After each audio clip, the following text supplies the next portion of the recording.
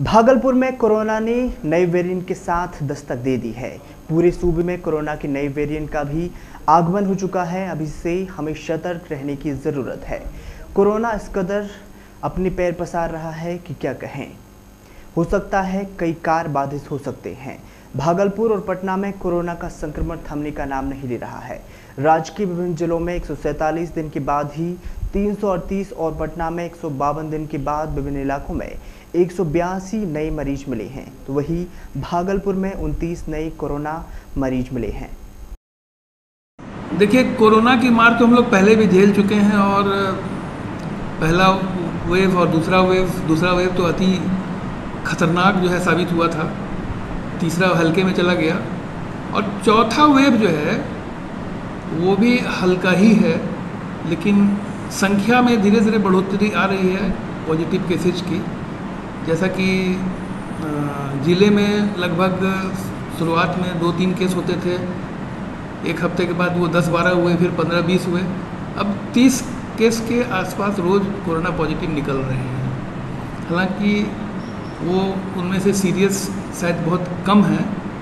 वो सभी अपने होम क्वारंटाइन में दो तीन चार दिन के अंदर ठीक हो जाते हैं। अस्पताल में अब तक पिछले एक महीने में 26 मरीज़ भर्ती हुए हैं। और वो मरीज़ जो भर्ती हुए वो कोरोना कह के भर्ती नहीं हुए हैं। उसमें अधिकांश, उसमें 16 मरीज़ तो ऐसे होंगे जो किसी न किसी ऑपरेशन के लिए भर्ती हुए और एक रूटीन टेस्टिंग के अंतर्गत जो है उनको कोरोना पॉजिटिव पाया गया। क्योंकि यहाँ हम लोगों का नियम है कि जो भी केस एडमिट होगा तो उसका कोरोना टेस्ट होगा।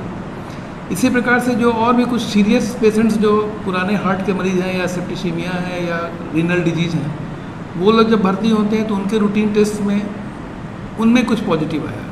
तो ऐसे ही लोग को पॉजिटिव मिला है।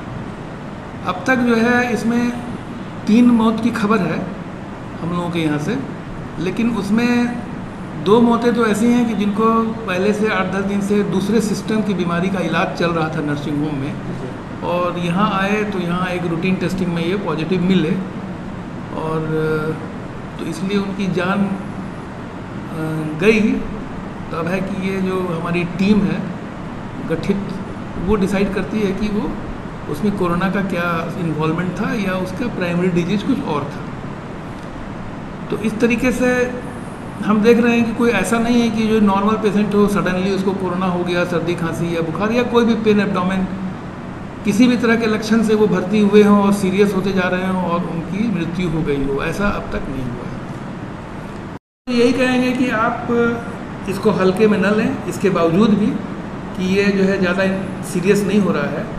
क्योंकि कब सीरियस होगा, ये हमें आपको किसी को नहीं पता है। क्योंकि कोरोना का जो बेसिक गुण है कि एक शरीर से दूसरे शरीर में जाने के बाद वो म्यूटेंट परिवर्तन होता है, जेनेटिक चेंज होता है।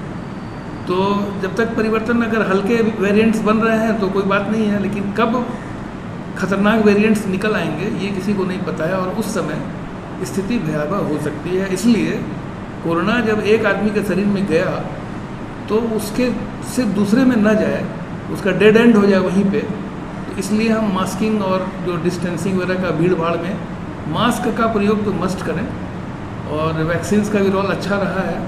जो लोगों ने दो डोज लिए हैं, उनको कम असर हो रहा है। अस्पताल में कैसी व्यवस्था की गई है अस्पताल में तो हमारे पास, जब हम चार चार सौ कोरोना के रोगी थे तो उसको हम लोगों के पास सारी व्यवस्था थी। तो आज भी वो सारी व्यवस्थाएँ हैं। तब ये है कि अभी चूँकि और अदर केसेस का लोड बहुत ज़्यादा है और कोरोना उतना अधिक सक्रिय नहीं है तो हम लोगों ने 50 बेड फिर भी कोरोना के लिए रिज़र्व करके रखे हैं। और छः बेड आईसीयू के भी हैं, अगर सीरियस हो जाते हैं तो उसको कोरोना का उसमें रखा जा सकता है। दवाइयाँ सारी उपलब्ध हैं। डॉक्टर्स स्टाफ सारे का रूटीन ड्यूटी बना हुआ है, सब अपना नॉर्मल चल रहा है रूटीन वे में